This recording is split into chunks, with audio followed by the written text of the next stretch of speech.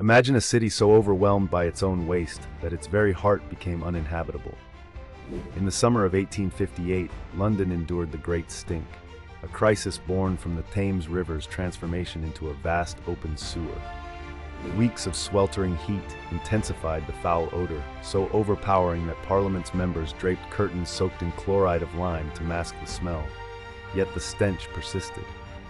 This was more than a nuisance. It was a dire public health emergency. Repeated cholera outbreaks had already claimed thousands of lives, and scientific evidence increasingly pointed to polluted water as the culprit. Faced with mounting pressure, Parliament authorized civil engineer Joseph Bazalgette to devise a solution. Bazalgette engineered an extensive network of underground sewers, over 1,100 miles of brick tunnels, designed to divert waste downstream, away from the city's water supply. Completed in the early 1860s, this monumental project not only ended the Great Stink, but dramatically reduced waterborne diseases, saving countless lives. Bazalgette's visionary work laid the foundation for modern urban sanitation and transformed London into a healthier, more livable metropolis.